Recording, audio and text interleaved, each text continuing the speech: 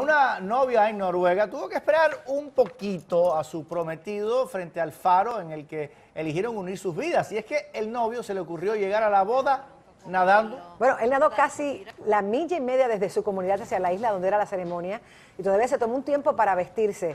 Para colmo, en medio del casamiento comenzó a llover pero eso no le restó romanticismo al momento que sellaron con un tierno beso. y Mari. Espérate, él quiso demostrar que él es un hombre muy, muy vital. Y hablando de milenios, ¿tú sabes qué edad, tiene ese caballero? 79 años. Eso era. lo que logró. Tenía que probarse antes de la boda para Estamos que rodeados de milenios aquí.